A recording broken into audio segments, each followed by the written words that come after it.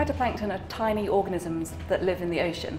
Um, they're everywhere, but they're so microscopic that you can't actually see them with the naked eye. They play a very important role in our ocean's climate. They form the base of the marine food web, so everything else that lives in the ocean eats to some extent phytoplankton, but they also play a very important role in regulating climate.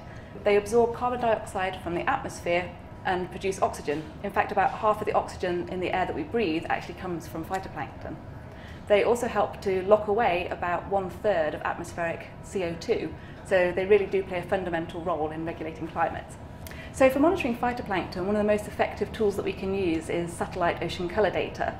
Phytoplankton are microscopic, you can't see them with the naked eye. So you might be wondering how on earth we can see them from space, which obviously is very far away. Well, the phytoplankton turn the water a shade of green, and that's due to the chlorophyll in them. That's a pigment that helps them uh, photosynthesize and take up carbon dioxide with a satellite we can actually see the colour of the water. That's, that's what ocean colour means. And the key thing about these ocean colour satellites is that they give us global, high resolution images every single day, something that would be completely impossible with traditional methods like using a ship.